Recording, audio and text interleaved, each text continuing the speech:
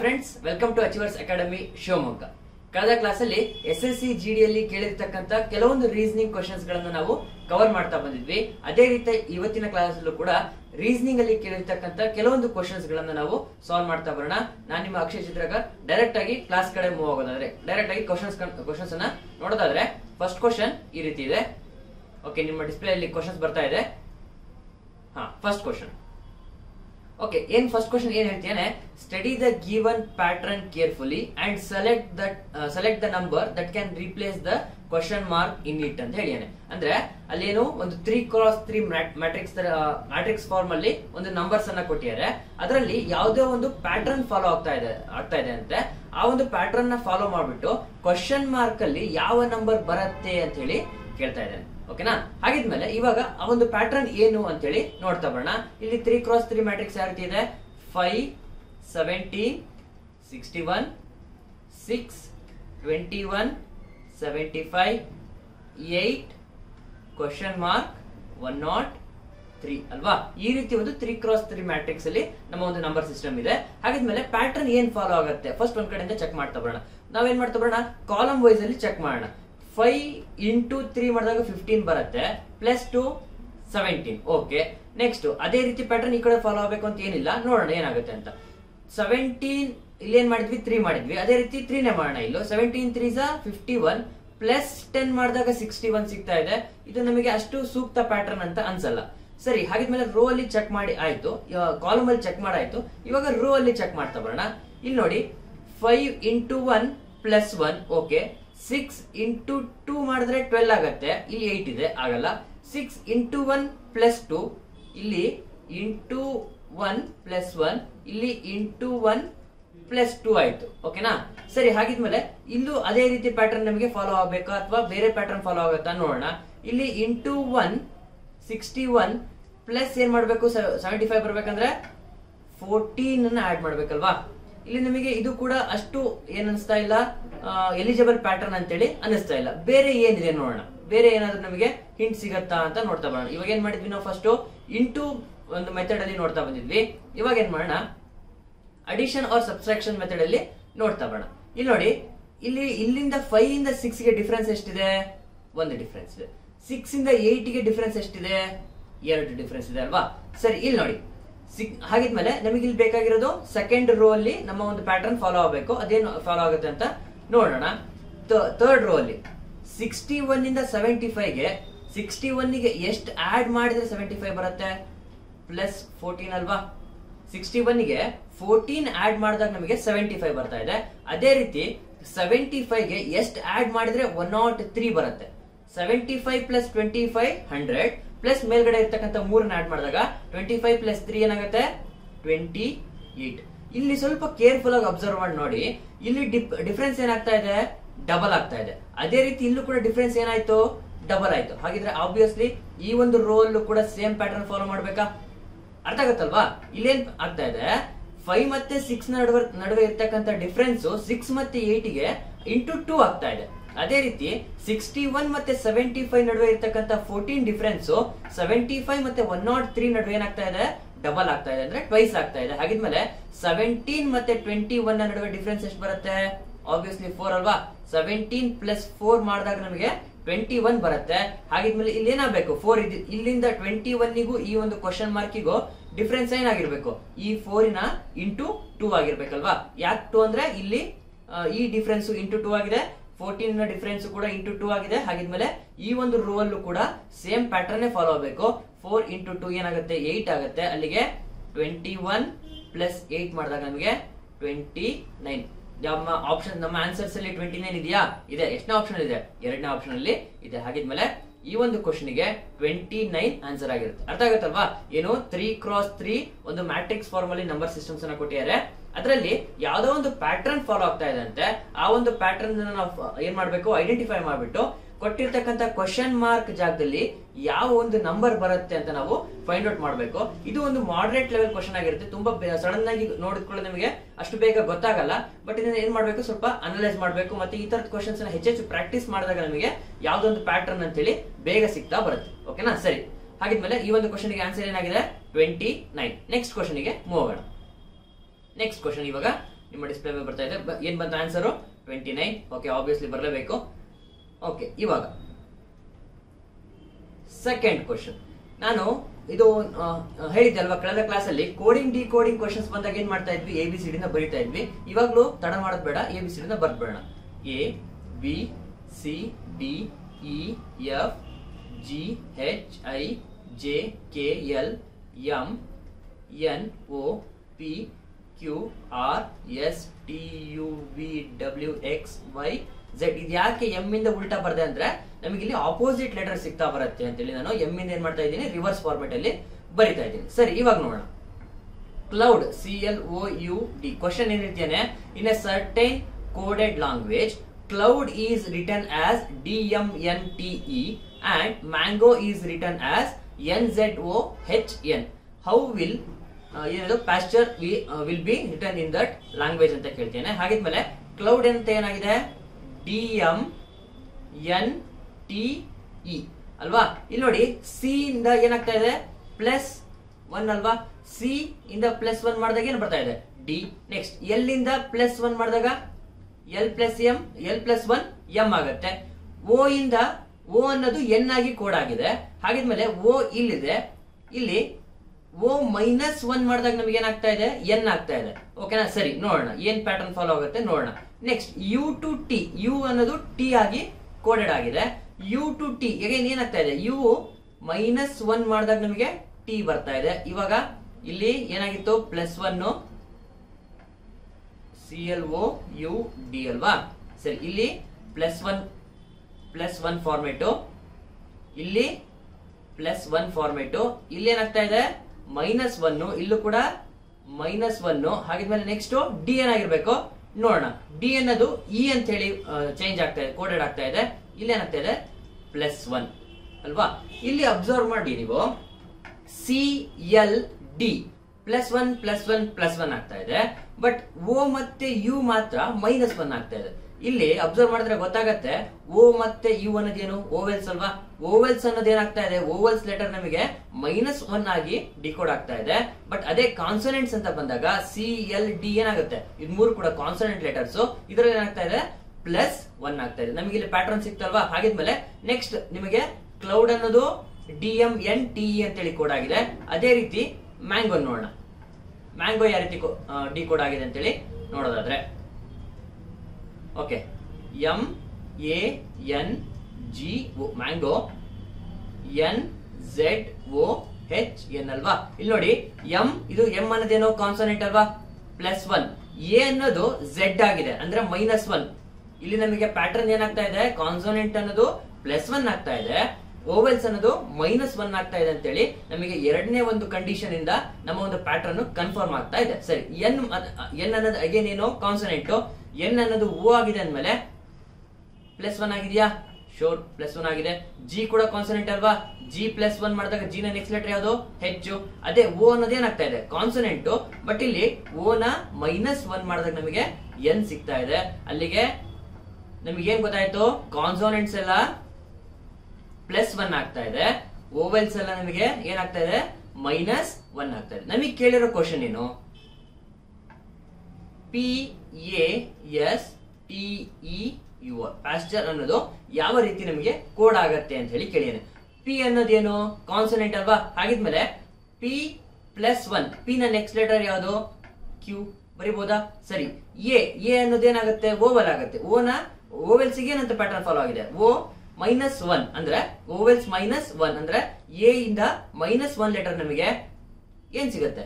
That is obviously Z next S ಅನ್ನೋದು again consonant ಆಗುತ್ತೆ. S plus one ಮಾಡಿದಾಗ ನಿಮ್ಗೆ ಇಲ್ಲಿ ಟಿ ಸಿಗತ್ತೆ. ನೆಕ್ಸ್ಟ್ ಟಿ ಅನ್ನೋದು ಅಗೇನ್ ಕಾನ್ಸನೆಂಟ್ ಅಲ್ವಾ? ಟಿ ಅನ್ನೋದು ಏನಾಗಬೇಕಾಗಿ ಇಲ್ಲಿ ಆಗಿದ್ರೆ plus one T next letter U next E ನ ಇ ಅನ್ನೋದು ನಮಗೆ ಇಲ್ಲಿ ಓವೆಲ್ ಆಗುತ್ತೆ. ಓವೆಲ್ ಸೌಂಡ್ ಆಗುತ್ತೆ. ಓವೆಲ್ ಲೆಟರ್ ಆಗುತ್ತೆ. ಹಾಗಿದ್ಮೇಲೆ ಇಲ್ಲಿ ಏನಾಗಬೇಕು ಮೈನಸ್ ಒನ್ ಆಗಬೇಕು. ಮೈನಸ್ ಒನ್ ಮಾಡಿದಾಗ ನಮಗೆ ಇಲ್ಲಿ ಇ ನ ಹಿಂದಿನ ಲೆಟರ್ ಯಾವುದು? That is D next U ಅನ್ನೋದು ಕೂಡ ಓವೆಲ್ ಅಲ್ವಾ? ಯು ನ ಹಿಂದಿನ ಲೆಟರ್ ನಮಗೆ ಇಲ್ಲಿ ನೋಡಿದ್ರೆ ಗೊತ್ತಾಗುತ್ತಲ್ವಾ? ನಿಮ್ಗೆ ಸಡನ್ ಆಗಿ ರಿವರ್ಸ್ ಲೆಟರ್ ಗೊತ್ತಾಗಲ್ಲ ಅಥವಾ ಅಪೋಸಿಟ್ ಲೆಟರ್ಸ್ ಈ ಒಂದು ಕ್ವಶನ್ ಅಲ್ಲಿ ಅಪೋಸಿಟ್ ಲೆಟರ್ ಬಗ್ಗೆ ಇಲ್ಲ. ನೆಕ್ಸ್ಟ್ ಕ್ವಶನ್ಸ್ ಅಲ್ಲಿ ಬರ್ಬೋದು.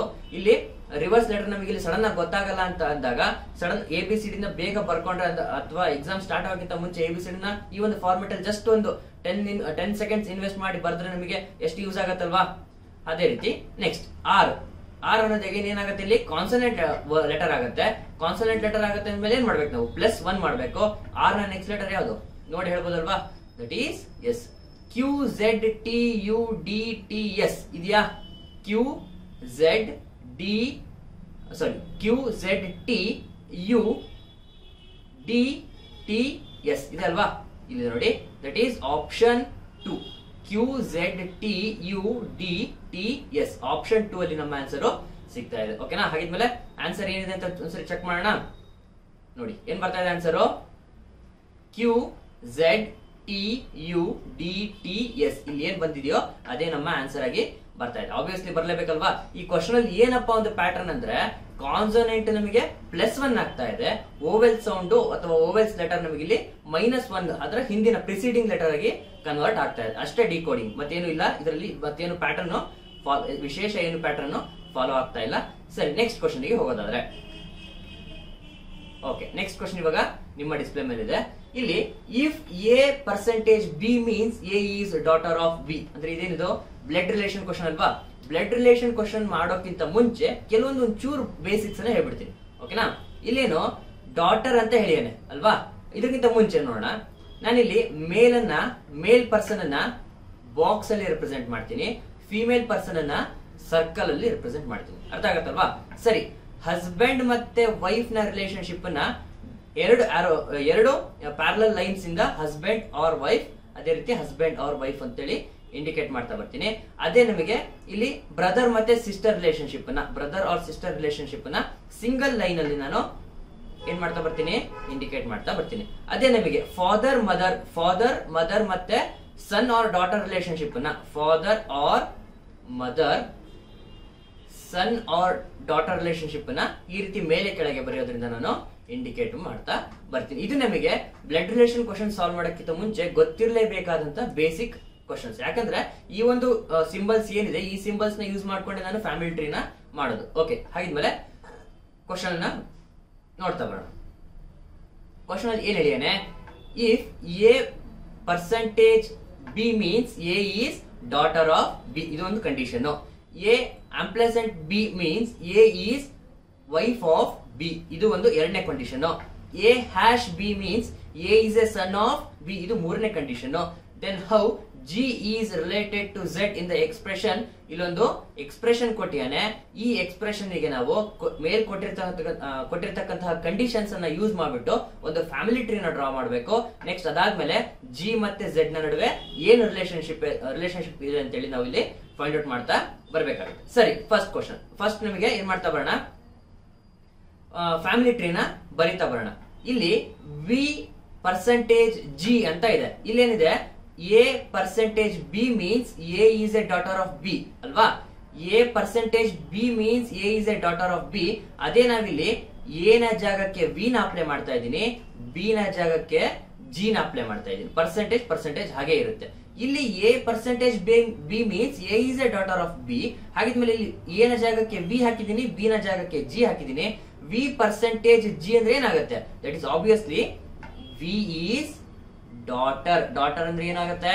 ಸರ್ಕಲ್ ಅಂತ ಹೇಳಿದೀನಲ್ವಾ ಫಿಮೇಲ್ ರಿಲೇಷನ್ ಫಿಮೇಲ್ ಪರ್ಸನ್ ಅನ್ನ ನಾನು ಸರ್ಕಲ್ ಅಲ್ಲಿ ಇಂಡಿಕೇಟ್ ಮಾಡ್ತೀನಿ. ಏನು V is daughter of B ಈ ರೀತಿ ಬರಿಬೋದಾ?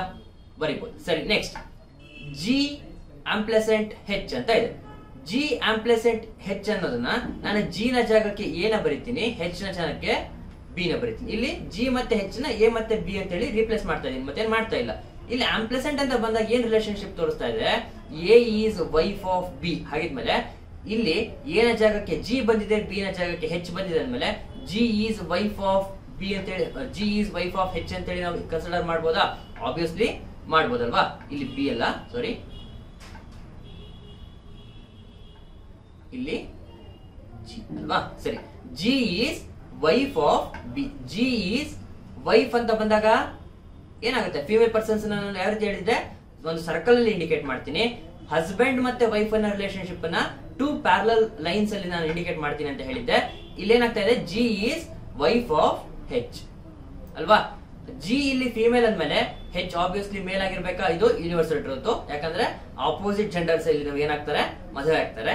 ಸರಿ, ಇದು ನೋಡೋಣ. ನೆಕ್ಸ್ಟ್ ಹೆಚ್ ಹ್ಯಾಶ್ ಎಲ್ ಇಲ್ಲಿ A hash B means A ಈ ಸನ್ ಆಫ್ ಬಿ ಅದೇ ರೀತಿ ಹಿಂಗಡೆ ಯಾವ ರೀತಿ ಮಾಡಿದ್ವಿ? ಎ ಮತ್ತೆ ಬಿ ನ ಜಾಗಕ್ಕೆ ಹೆಚ್ ಮತ್ತೆ ಎಲ್ ಅನ್ನ ನಾನು ರಿಪ್ಲೇಸ್ ಮಾಡೋದು. A hash B means A is a son of B ಇಲ್ಲಿ H hash L means H is a son of L ಅಲ್ವಾ? ಇಷ್ಟೇ. ನೆಕ್ಸ್ಟ್ ಎಲ್ ಇಲ್ಲಿದೆ ಆಂಪ್ಲೆಸೆಂಟ್ ಝೆಡ್ ಆಂಪ್ಲೆಸೆಂಟ್ ಅಂತ ಬಂದಾಗ ಏನಾಗಿತ್ತು ಇಲ್ಲಿ? A is a wife of B ಅಂತ ಆಗಿತ್ತಲ್ವಾ? ಇಲ್ಲಿ ಎ ನ ಜಾಗಕ್ಕೆ ಎಲ್ನ ರಿಪ್ಲೇಸ್ ಮಾಡೋದು ಬಿ ನ ಜಾಗಕ್ಕೆ ಝೆಡ್ ಅನ್ನ ರಿಪ್ಲೇಸ್ ಮಾಡೋದು. ಆಂಪ್ಲೆಸೆಂಟ್ ಆಂಪ್ಲೆಸೆಂಟ್ ಆಗೇ ಬರೆಯೋದು. ಎ ಆಂಪ್ಲೆಸೆಂಟ್ ಬಿ ಅಂದ್ರೆ A is a wife of B ಹಾಗಿದ್ಮೇಲೆ ಅದೇ ಜಾಗಕ್ಕೆ ಎಲ್ ಮತ್ತೆ ಝೆಡ್ ಬಂದಿದ್ದಾರೆ. L is wife of Z ಅಂತ ಬರಿಬೋದಾ? Obviously ಬರಿಬಹುದು L is wife of Z ಹಾಗಿದ್ಮೇಲೆ Z ಏನಾಗ್ತಾರೆ? ಮೇಲ್ ಪರ್ಸನ್ಸ್ ಆಗ್ತಾರಲ್ವಾ? ಅಲ್ಲಿಗೆ ಇನ್ನೊಂದ್ಸತಿ ಇದನ್ನ ಬೇಕಿದ್ರೆ ಬರಿತೀನಿ ನೋಡಿ, ಕೆಳಗಡೆ ಬರಿತೀನಿ. ಜಿ ಮತ್ತೆ ಹೆಚ್ಚು ಹಸ್ಬೆಂಡ್ ಅಂಡ್ ವೈಫ್ ರಿಲೇಶನ್ಶಿಪ್ ಅಲ್ಲಿ ಇದ್ದಾರೆ ವಿ ನಮಗೆ daughter of G R H next H is son of L L ಮತ್ತೆ ಝೆಡ್ ನಮಗಿಲ್ಲಿ ಹಸ್ಬೆಂಡ್ ಮತ್ತೆ ವೈಫ್ ರಿಲೇಶನ್ಶಿಪ್ ಅಲ್ಲಿ ಇದ್ದಾರೆ ಅರ್ಥ ಆಗತ್ತಲ್ವಾ? ಇಷ್ಟು ಏನು ಬ್ಲಡ್ ರಿಲೇಷನ್ ಅಲ್ಲಿ ಫಸ್ಟ್ ನಮಗೆ ಬೇಸಿಕ್ ಆಗಿ ಗೊತ್ತಿರ್ತಕ್ಕಂಥ, ಗೊತ್ತಿರಲೇಬೇಕಾದಂತಹ ಏನೋ ಬಾಕ್ಸ್ ಆಗಲಿ ರೌಂಡ್ ಆಗಲಿ ಡಬಲ್ ಪ್ಯಾರಲಲ್ ಲೈನ್ಸ್ ಆಗಲಿ, ಅಥವಾ ಸಿಂಗಲ್ ಪ್ಯಾರಲಲ್ ಲೈನ್ ಆಗಲಿ ಸಿಂಗಲ್ ಲೈನ್ ಆಗಲಿ, ಇದೆಲ್ಲ ನಮಗೆ ಫಸ್ಟೇ ಗೊತ್ತಾಗಬೇಕಾಗತ್ತೆ, ಗೊತ್ತಿರ್ಬೇಕಾಗತ್ತೆ. ಸರಿ, ಇವಾಗ ಕ್ವಶನ್ ಕೇಳಿರೋದೇನು ನಮಗೆ? ಜಿ ಮತ್ತೆ ಝೆಡ್ನ ನಡುವೆ ಏನ್ ರಿಲೇಶನ್ಶಿಪ್ ಇದೆ ಅಂತೇಳಿ ಕೇಳಿ ಇನ್ನೇನು ಕೇಳ್ತೇನೆ. ಹೌ, ಯಾವ ರೀತಿ? G is related to Z. ಯಾವ ರೀತಿ? ಜಿ ಝೆಡ್ ರಿಲೇಟ್ ಆಗಿದ್ದಾರೆ ಅಂತ ಕೇಳ್ತೇನೆ. ಯಾವ ರೀತಿ ಜಿ ಝೆಡ್ ರಿಲೇಟೆಡ್ ಆಗಿದ್ದಾರೆ ಅಂದ್ಮೇಲೆ ಜಿ ಝೆಡ್ ಏನು ಅಂತ ಹೇಳಿ ನಾವು ಹೇಳ್ಬೇಕಾ? ಸರಿ, ಝೆಡ್ ಝೆಡ್ನ ಮಗ ಯಾರು? ಹೆಚ್. ಮಗನ ಹೆಂಡತಿ ಯಾರು? ಜಿ. ಹಾಗಿದ್ಮೇಲೆ ಏನಾಗ್ತಾರೆ ಸೊಸೆ ಸೊಸೆ ಮೀನ್ಸ್ ಡಾಟರ್ ಇನ್ ಅಲ್ವಾ? ಯಾವ ರೀತಿ? How, G is related to Z ಅಂತ ಕೇಳ್ತಿದ್ದಾರೆ ಯಾವ ರೀತಿ ಝೆಡ್ಗೆ ಜಿ ರಿಲೇಟೆಡ್ ಅಂತ ಹೇಳಿ, ನಮಗಿಲ್ಲಿ ಝೆಡ್ನ ಮಗ ಹೆಚ್ ಅಂದ್ಮೇಲೆ ಮಗನ ಹೆಂಡತಿ ಏನಾಗ್ತಾಳೆ? ಆಬ್ವಿಯಸ್ಲಿ ಸೊಸೆ ಅಲ್ವಾ? ಸೊಸೆ ಮೀನ್ಸ್ ಡಾಟರ್ ಇನ್ ಲಾ ಹಾಗಿದ್ಮೇಲೆ ಆನ್ಸರ್ನ ನೋಡ್ತಾ ಬರೋಣ. ಹ್ಮ್ ಆನ್ಸರ್ ಏನ್ ಬರ್ತಾ ಇದೆ? ಆಬ್ವಿಯಸ್ಲಿ ಡಾಟರ್ ಇನ್ ಲಾ ಬರಲೇಬೇಕು. ಸರಿ ನೆಕ್ಸ್ಟ್ ಕ್ವಶನ್ ಕಡೆ ಹೋಗೋದಾದ್ರೆ. ಹಾ, ಇದೊಂದು ಸ್ವಲ್ಪ ದೊಡ್ಡ ಕ್ವಶನ್ ಇದೆ ಅಲ್ವಾ? ಸರಿ, ನೋಡೋಣ. ಸಿಕ್ಸ್ ಪ್ರೊಫೆಷನಲ್ ಇಂಟೀರಿಯರ್ ಡಿಸ ಇದು ಏನು six professional interior designer Pavan, Nayana, Ratan, Shiva, ಮತ್ತೆ ತನುಜ, ಊರ್ಮಿಳಾ, ಇವರನ್ನ ನಾವು just T N R S T U ಅಂತ ಹೇಳಿ ಕನ್ಸಿಡರ್ ಮಾಡ್ಬೋದಾ? ಮಾಡ್ಬೋದು, ಏನು ತೊಂದರೆ ಇಲ್ಲ. ಸರಿ next are sitting around a hexagonal table ನಮಗಿಲ್ಲಿ ಫಸ್ಟ್ ಇದು ಸಿಟ್ಟಿಂಗ್ ಅರೇಂಜ್ಮೆಂಟ್ ಕ್ವಶನ್ ನಮಗೆ ಇಲ್ಲಿ ಫಸ್ಟ್ ಕನ್ಫರ್ಮ್ ಆಗಿ ಗೊತ್ತಾಗುತ್ತೆ ಸರಿ ನೆಕ್ಸ್ಟ್ ಹೆಕ್ಸಾಗಿನಲ್ ಟೇಬಲ್ ಅಂದ್ರೆ ಒಂದು ಟೇಬಲ್ಗೆ ಎಷ್ಟು ಸೈಡ್ ಬರುತ್ತೆ ಅನ್ನೋದು ಇಲ್ಲಿ ನಿಮಗೆ ಕರೆಕ್ಟ್ ಆಗಿ ಗೊತ್ತಿರ್ಬೇಕು. ಹೆಕ್ಸಾಗನಲ್ ಟೇಬಲ್ ಅಂದ್ರೆ ಎಷ್ಟು? ಆಬ್ವಿಯಸ್ಲಿ ಸಿಕ್ಸ್ ಅಲ್ವಾ? Hexagonal means six side six edge table ಅಂತೇಳಿ. ಸರಿ next each at one corner ಪ್ರತಿ ಒಂದು ಕಾರ್ನರ್ನ ಟೇಬಲ್ ಅಲ್ಲಿ ಎಲ್ಲರೂ ಕೂಡ ಕೂತಿಯಾರಂತೆ. ಆರ್ ಫೇಸಿಂಗ್ ಸೆಂಟರ್ ಎಲ್ಲರೂ ಕೂಡ ಸೆಂಟರ್ಗೆ face ಮಾಡ್ತಿಯಾರಂತೆ of the hexagonal table next ನಮಗೆ ಇಲ್ಲಿ ಪವನ್ ಯಾವ ಕಡೆ ಬರ್ತಾನೆ ಅಥವಾ ರತನ್ ಯಾವ ಕಡೆ ಬರ್ತಾನೆ ಅಂತ ಹೇಳಿ ಕಂಡೀಷನ್ಸ್ ಕೊಡ್ತಾ ಬಂದಿದ್ದಾರೆ. ಲಾಸ್ಟ್ ಕ್ವಶನ್ ಏನು? Who among the following are the neighbours of Pavan ಪವನಿಗೆ neighbours ಆಗಿ ಯಾರು ಇದ್ದಾರೆ ಅಂತ ಹೇಳಿ ಕೇಳ್ತಾ ಇದ್ದಾರೆ ಸರಿ, ಇವಾಗ ಸಾಲ್ವ್ ಮಾಡ್ತಾ ಬರೋಣ. ಇಲ್ಲಿ ನೆಕ್ಸ್ಟ್ ಸ್ಲೈಡ್ ಹಾಕೊಂಡಿದ್ದೀನಿ question same question next slide ಇದೆ. ಫಸ್ಟ್ ಇದು ಸಿಟಿಂಗ್ ಅರೇಂಜ್ಮೆಂಟ್ ಕ್ವಶನ್ಸ್ ಅಂತ ಗೊತ್ತಾಯ್ತು. ಹೆಕ್ಸಾಗಿನಲ್ ಟೇಬಲ್ನ ಡ್ರಾ ಮಾಡ್ಬೇಕು, ಅಲ್ವಾ? ಹೆಕ್ಸಾಗಿನಲ್ ಟೇಬಲ್ ಅಂದ್ರೆ ಏನಂತ ಹೇಳಿದ್ರೆ ಸಿಕ್ಸ್ ಸೈಡ್ ಟೇಬಲ್ ಅಲ್ವಾ? ಇಲ್ಲಿ ನೋಡಿ, ಪ್ರತಿ ಕಾರ್ನರ್ ಅಲ್ಲೂ ಒಬ್ರು ಕೂರ್ತಿಯಾರಂತೆ ಹಾಗಿದ್ಮೇಲೆ ಕೌಂಟ್ ಮಾಡಿ ಇವಾಗ. One two three four five six ಆಯ್ತಾ? ಸಿಕ್ಸ್ ಮೆಂಬರ್ಸ್ ಇದಾರೆ ಹೆಕ್ಸಾಗಿನಲ್ ಟೇಬಲ್ ಅಲ್ಲಿ ಕೂರ್ತಿಯ ಕೂತಿದ್ದಾರೆ. ಎಲ್ಲರೂ ಕೂಡ ಒಂದೊಂದು ಕಾರ್ನರ್ ಅಲ್ಲಿ ಕೂತಿದ್ದಾರೆ. ನಾವ್ ಇದನ್ನ ಈ ತರ ಟೇಬಲ್ ಎಲ್ಲ ಬರ್ಕೊಂಡು ಈ ತರ ಚಿತ್ರ ವಿಚಿತ್ರ ಮಾಡೋದಕ್ಕಿಂತ ಸಿಂಪಲ್ ಆಗಿ ಈ ರೀತಿ ಬರಿಬೋದಾ? ಆಬ್ವಿಯಸ್ಲಿ ಬರಿಬೋದು. ಬರೆಯಕ್ ಆಗಲ್ಲ ಅಂತ ಏನಿಲ್ಲ ಇದನ್ನ ನಾನು ಫಸ್ಟ್ ಹೇಳಿದ್ದೀನಿ. ಕಳೆದ ಕ್ಲಾಸಲ್ಲೂ ಕೂಡ ಒಂದು ಸಿಟ್ಟಿಂಗ್ ಅರೇಂಜ್ಮೆಂಟ್ ಅಥವಾ ಪಜಲ್ ಅನ್ನ ಕ್ವಶನ್ ಸಾಲ್ವ್ ಮಾಡಬೇಕಾದ್ರೆ ಹೇಳಿದ್ದೀನಿ ನಿಮಗೆ ಏನೋ. ಯಾವುದೇ ಒಂದು ಪಜಲ್ ಮಾಡ್ತಿದ್ದೀರಾ ಅಂದ್ರೆ ಎರಡು ಪಾಸಿಬಿಲಿಟಿಯಲ್ಲಿ ನಾವು ಮೂವ್ ಆಗಬೇಕು ಅಂತ ಹೇಳಿದ್ದೆ. ಸರಿ, ಇಲ್ಲಿ ನೋಡೋಣ. ಎರಡು ಪಾಸಿಬಿಲಿಟಿ ಹಾಕೊಳ್ಳೋದಪ್ಪ. ಓಕೆನಾ ಇಲ್ಲಿ ಬೇಡ. ಇದು ಇದು ಮತ್ತೆ, ಇದು ಸೇಮೆ ಓಕೆನಾ ಇಲ್ಲಿ, ಏನೋ ಈ ರೀತಿ ಡ್ರಾ ಮಾಡ್ಕೊಂಡ್ರೆ ಏನಾಗುತ್ತೆ? ಇದೇ ರೀತಿ ಆಗಲ್ವಾ? ಆಬ್ವಿಯಸ್ಲಿ ಆಗೇ ಆಗುತ್ತೆ. ನಮಗೆ ಅಷ್ಟೆಲ್ಲ ಏನೋ ತುಂಬಾ ಕಾಂಪ್ಯಾಕ್ಟ್ ಆಗಿರೋದು ಬೇಡ. ಫ್ರೀ ಆಗಿರ್ಲಿ ಅಂತ ಹೇಳಿ ಓಕೆ ಸರಿ, ನೋಡೋಣ. ನಾನೇನ್ ಹೇಳಿದ್ದೆ? ಇವನನ್ನ ಪಿ ಅಂತ ಕನ್ಸಿಡರ್ ಮಾಡಿ, ಇವನನ್ನ ಎನ್ ಇವನನ್ನ ಆರ್ ಇವನನ್ನ ಎಸ್ ಮತ್ತೆ T ಬರ್ಕೊಳ್ಳಿರ್ಬೇಕಿದ್ರೆ P N R S T U ಅಲ್ವಾ? ಇಷ್ಟು ಜನ ಇದ್ದಾರೆ six members six hexagonal table ಅಲ್ಲೇ ಕೂರ್ಬೇಕು. ಸರಿ ನೆಕ್ಸ್ಟ್ ಇವಾಗ ಆಕ್ಚುಯಲ್ ಕ್ವಶನ್ ನಮಗೆ ಇಲ್ಲಿ ಸ್ಟಾರ್ಟ್ ಆಗ್ತಾ ಬರುತ್ತೆ. Pavan sits second to the left of Urmila ಓಕೆನಾ Pavan ಊರ್ಮಿಳನ second to the left all are facing centre ಅಂತ ಕೊಟ್ಟಿದ್ದಾರೆ ಫಸ್ಟ್ ಇಲ್ಲಿ. ಎಲ್ಲಿ ಕೊಟ್ಟಿದ್ದಾರೆ? ಫೇಸಿಂಗ್ ಸೆಂಟರ್ ಅಂತ ಕೊಟ್ಟಿದ್ದಾರೆ. ಹಾಗಾಗಿ ನಮಗೆ ಇಲ್ಲಿ ಇವರೆಲ್ಲರೂ ಸೆಂಟರ್ಗೆ ಫೇಸ್ ಮಾಡ್ತಾರೆ ಅಂದಾಗ ಈ ಪರ್ಸನ್ ಸೆಂಟರ್ಗೆ ಫೇಸ್ ಮಾಡ್ತಾನೆ ಅಂದ್ರೆ right left right left right left ಇದು ನಮಗೆ ಕರೆಕ್ಟ್ ಆಗಿ ಗೊತ್ತಿರ್ಬೇಕಾಗತ್ತೆ. ಇದನ್ನ ನಾನು ಇಲ್ಲಿ ಬರ್ಲಿಕ್ಕೆ ಹೋಗಲ್ಲ. ಓಕೆ ಎಲ್ಲ ಎರೇಜ್ ಆಯ್ತಲ್ವಾ? ಇಲ್ಲಿ ತೊಂದರೆ ಇಲ್ಲ ಹ್ಮ್. ಏನಂತ ಹೇಳಿ first Pavan is second to the left of Urmila. Pavan ಊರ್ಮಿಳನ second to the left ಅಂತೆ. ಈ ಒಂದು ಟೇಬಲ್ ಅಲ್ಲಿ ಎಲ್ಲೋ ಒಂದ್ ಕಡೆ ಪವನ್ ಮತ್ತೆ ಊರ್ಮಿಳ ಊರ್ಮಿಳ ಏನ್ ಬರೋ ಬರ್ಲೇಬೇಕಲ್ವಾ? ನಾನ್ ಫಸ್ಟ್ ಊರ್ಮಿಳನ ಬೇಸ್ ಆಗಿ ತಗೋತೀನಿ. ಅಂದ್ರೆ ಯು ನ ಬೇಸ್ ಆಗಿ ತಗೋತೀನಿ. ಒಂದ್ ಕಡೆ ಯು ನ ಇಲ್ಲಿ ಬರಿತೀನಿ. ಒಂದೊಂದ್ ಇನ್ನೊಂದ್ ಕಡೆ ಎರಡು ಪಾಸಿಬಿಲಿಟಿ ಅಂತ ಹೇಳಿದ್ದೆ. ಒಂದ್ ಕಡೆ ಯು ನ ಇಲ್ಲಿ ಬರಿತೀನಿ. ಒಂದ್ ಕಡೆ ಯು ನ ಇಲ್ಲಿ ಬರಿತಾ ಇದೀವಿ ಓಕೆನಾ? ಸರಿ, ಎಲ್ಲೋ ಒಂದ್ ಕಡೆ ಬರ್ಲೇಬೇಕು. ಎಲ್ಲಿ ಬರ್ಕೊಂಡ್ರೆ ನಮಗೆ? ಅಲ್ವಾ? ಸರಿ. ಊರ್ಮಿಳನ second to the left ಯಾರಂತೆ? Pavan. Urmila first left second left Pavan. Urmila first left second left Pavan. ಅಲ್ಲಿಗೆ ಈ ಕಂಡೀಷನ್ ನಮಗೆ ಇಲ್ಲಿ ಸ್ಯಾಟಿಸ್ಫೈ ಆಗ್ತಾ ಇದೆ. Next Nayana is the neighbour of Ratan and Shiva. ಯಾರು? ಶಿವ. ಅಂದ್ರೆ, ಎನ್ ಯಾರಿಗ್ ನೈಬರ್ಸ್ ಅಂತೆ? ಆರ್ ಮತ್ತೆ ಎಸ್ಗೆ ನೈಬರ್ಸ್ ಅಂತೆ. ಇದು ಯಾವ ರೀತಿ ಬರ್ಬೋದು? ಎನ್ ಮಧ್ಯ ಮಧ್ಯ ಬಂದು, ಎಸ್ ಈ ರೀತಿ ಫಾರ್ಮೆಟ್ ಅಲ್ಲಿ ಕೂಡ ಬರ್ಬೋದು. ಹಾಗಾಗಿ ನಾನು ಇಲ್ಲಿ ಡಬಲ್ ಆರೋ ಮಾರ್ಕ್ ಅಲ್ಲಿ ಇಂಡಿಕೇಟ್ ಮಾಡ್ತಾ ಇದ್ದೀನಿ. ಏನು? Nayana is a neighbour of Ratan and Shiva. ಸರಿ next next condition Tanuja sits second to the left of Shiva ಅಂದ್ರೆ T is second to the left of S ಅಂತ ಹೇಳಿಲ್ವಾ? ಸರಿ next next ಕೇಳಿರೋದೇನು? Who among the following is the neighbour of Pavan? ಪವನ್ನ ಅಕ್ಕಪಕ್ಕ ಅಂದ್ರೆ neighbours ಅಂದ್ರೆ ಅಕ್ಕಪಕ್ಕ ಅಲ್ವಾ? ಪವನ್ನ ಅಕ್ಕಪಕ್ಕ ಯಾರು ಕೂತಿದ್ದಾರೆ ಅಂತ ಹೇಳಿ ಕ್ವಶನ್ ನಮಗಿಲ್ಲಿ ಈ ಕಂಡೀಷನ್ ಸ್ಯಾಟಿಸ್ಫೈ ಆಗಿದೆ. ಇದನ್ನ ಈ ಕಂಡೀಷನ್ ಸ್ಯಾಟಿಸ್ಫೈ ಆಗಬೇಕು ನೆಕ್ಸ್ಟ್ ಈ ಕಂಡೀಷನ್ ನಮಗೆ ನಮಗಿಲ್ಲಿ ಸ್ಯಾಟಿಸ್ಫೈ ಆಗ್ಬೇಕು, ಅಲ್ವಾ? ಸರಿ ನೆಕ್ಸ್ಟ್ ಇವಾಗ ಈ ಕಂಡೀಷನ್ ಇಂದ ನಾವು ಒಂದು ಕ್ವಶನ್ ಸಾಲ್ವ್ ಮಾಡ್ತಾ ಬರೋಣ. ಇಲ್ಲಿ ಎಸ್ ಇಲ್ಲಿ ಬರ್ಬೋದು ಇಲ್ಲಿ ಬರ್ಬೋದು ಇಲ್ಲಿ ಬರ್ಬೋದು ಇಲ್ಲಿ ಬರ್ಬೋದು. ಓಕೆನಾ ನಾಲ್ಕು ಕಡೆ ನಮಗೆ ಇಲ್ಲಿ, ನಾಲ್ಕು ಕಾರ್ನರ್ ಆಫ್ ದ ಟೇಬಲ್ ಅಲ್ಲಿ ಎಸ್ ಇಲ್ಲಿ ಎಲ್ಲೋ ಒಂದ್ ಕಡೆ ಅಂತೂ ಬರ್ಲೇಬೇಕು. ಎಸ್ ಏನಾದ್ರೂ ಇಲ್ಲಿ ಬಂದ ಅಂದ್ರೆ ಎಸ್ನ ಸೆಕೆಂಡ್ ಲೆಫ್ಟ್ ಯಾರು? ಟಿ ಎಸ್ ಇಲ್ಲಿ ಬಂದ್ರೆ first left second left T ಇಲ್ಲಿ ಬರ್ತಾನೆ. ಅದ್ ಹಾಗಿದ್ರೆ ಇವಾಗ ಇಲ್ಲಿ ಅಬ್ಸರ್ವ್ ಮಾಡಿ ನೋಡಿ ಎಸ್ಗೆ ನೈಬರ್ಸ್ ಆಗಿ ಯಾರ್ಯಾರು ಬರ್ಬೇಕು? ಎನ್ ಮತ್ತೆ ಆರ್ ಬರ್ಬೇಕು. ನಾನ್ ಎಸ್ ಅನ್ನ ಇಲ್ಲಿ ಬರ್ದ್ಬಿಟ್ಟೆ ಅಂದ್ರೆ ಎನ್ ಮತ್ತೆ ಆರ್ನ ಎಲ್ಲಿ ಬರೀತೀರಾ? ಯಾಕಂದ್ರೆ ಎಸ್ಗೆ ನೈಬರ್ಸ್ ಆಗಿ ಎನ್ ಇದಾನೆ ಮತ್ತೆ ಎನ್ಗೆ ನೈಬರ್ ಆಗಿ ಆರ್ ಇರ್ಬೇಕು. ಎಸ್ ಇಲ್ಲಿ ಬಂದ್ರೆ ಈ ಕಡೆ ಎನ್ ಬರಿಬೇಕಾ? ಬರೆಯಕ್ಕಾಗತ್ತಾ? ಆಗಲ್ಲ. ಇಲ್ಲಿ ಏನ್ ಬರ್ಲಿಕ್ಕಾಗತ್ತಾ? ಇಲ್ಲೂ ಕೂಡ ಆಗಲ್ಲ. ಹಾಗಿದ್ಮೇಲೆ ಎಸ್ ಎಲ್ ಬರ್ಬೇಕು? ಎಲ್ಲಿ ಬರಲ್ಲ ಅಂತ ಗೊತ್ತಾಯ್ತು ನಿಮಗೆ ಫಸ್ಟ್ ಎಸ್ ನಮಗೆ ಈ ಒಂದು ಜಾಗದಲ್ಲಿ ಬರಲ್ಲ ಅಂತೇಳಿ ಗೊತ್ತಾಯ್ತು. ನೆಕ್ಸ್ಟ್ ಎಸ್ ಅನ್ನ ಇಲ್ಲಿ ಬರ್ಕೊಂಡ್ರೆ. ಎಸ್ ಅನ್ನ ಇಲ್ಲಿ ಬರ್ಕೊಂಡ್ರೆ ಎಸ್ನ second to the left T ಇಲ್ಲಿ ಆರಾಮಾಗಿ ಬರಿಬಹುದು ಸರಿ. ನೆಕ್ಸ್ಟ್ ಎಸ್ಗೆ ನೈಬರ್ ಆಗಿ ಯಾರು ಬರ್ಬೇಕು? ಎನ್ ಬರ್ಬೇಕು. ಎನ್ಗೆ ನೈಬರ್ ನೈಬರ್ ಆಗಿ ಯಾರು ಬರ್ಬೇಕು? ಆರ್ ಬರ್ಬೇಕು. ಆರ್ಗೆ ಜಾಗ ಇದೆಯಾ? ಇಲ್ಲ. ಹಾಗಾಗಿ ಈ ಪಾಸಿಬಿಲಿಟಿ ನಮಗೆ ಇಲ್ಲಿ ಎಸ್ ಇಲ್ಲೂ ಬರಲ್ಲ ಇಲ್ಲೂ ಬರಲ್ಲ ಅಂತ ಗೊತ್ತಾಯ್ತು. ನೆಕ್ಸ್ಟ್ ಎಸ್ ಇಲ್ಲಿ ಬರ್ಬೋದು ಅಥವಾ ಇಲ್ಲಿ ಬರ್ಬೋದು? ಎಸ್ ಏನಾದ್ರೂ ಇಲ್ಲಿ ಬಂದ ಅಂದ್ರೆ second to the left T ಬರಬೇಕು. ಆಲ್ರೆಡಿ ಯು ಇದನಲ್ವಾ? ಎಸ್ ಇಲ್ಲಿ ಬಂದ್ರೆ first left second left T ಬರಬೇಕು. ಆಲ್ರೆಡಿ ಯು ಇದಾನೆ ಆಗಲ್ಲ. ಸೊ ಎಸ್ ಇಲ್ಲಿ ಬಂದ್ರೆ ಸೆಕೆಂಡ್ ಟು ದ ಲೆಫ್ಟ್ ನಿಮಗೆ ಇಲ್ಲಿ ಟಿ ಬರ್ತಾನೆ. ಓಕೆ ಎಸ್ಗೆ ನೈಬರ್ ಆಗಿ ಯಾರು ಬರ್ತಾರಂತೆ? ಒಬ್ರು. ಎನ್ ಎನ್ಗೆ ನೈಬರ್ ಆಗಿ ಅಲ್ಲಿಗೆ ಒಂದು ನಮ್ಮ ಒಂದು ಸಿಟ್ಟಿಂಗ್ ಅರೇಂಜ್ಮೆಂಟ್ ಇಲ್ಲಿ ಕಂಪ್ಲೀಟ್ ಆಗಿ ಫುಲ್ ಅರೇಂಜ್ಮೆಂಟ್ ಸಿಗ್ತಾ ಇದೆ. ಕ್ವಶನ್ ಕೇಳಿರೋ ಕ್ವಶನ್ ಏನು? ಕ್ವಶನ್ ಏನು? ಪಿ ನ ನೈಬರ್ಸ್ ಯಾರ್ಯಾರು? ಅಂದ್ರೆ who among the followings are the neighbours of Pavan ಪವನ್ಗೆ neighbours ಯಾರು ಅಂತ ಕೇಳಿದರೆ.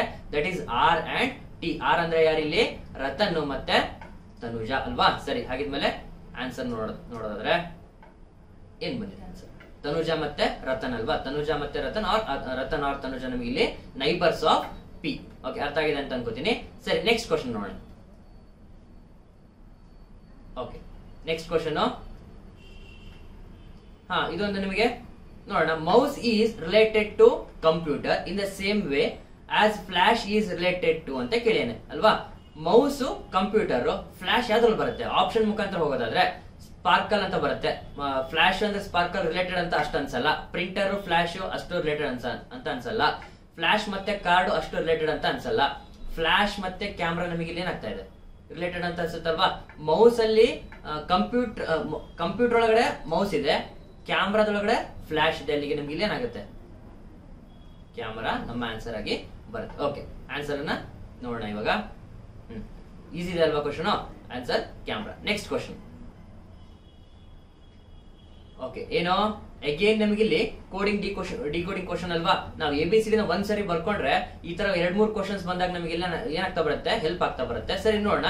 Select the option that is related to the third term in the same way as the second term is related to first term second term first term relate ಆಗಿದೆ. ಹಾಗಿದ್ಮೇಲೆ fourth term third ಟರ್ಮ್ಗೆ ಯಾವ ರೀತಿ related ಆಗಿದೆ ಅಂತ ಹೇಳಿ question ಸರಿ, ಇವಾಗ A B C ಬರ್ಕೊಂಡ್ಬಿಡೋಣ A B C D E F G H I J K L M N O P Q R S T U V W X Y ಮತ್ತೆ Z ಅಲ್ವಾ? ಸರಿ, ಇಲ್ಲಿ ನೋಡಿ. ಫಸ್ಟ್ ಲೆಟರ್ ಸೆಕೆಂಡ್ ಲೆಟರ್ಗೆ late ಆಗಿದೆ ಅಂತೆ.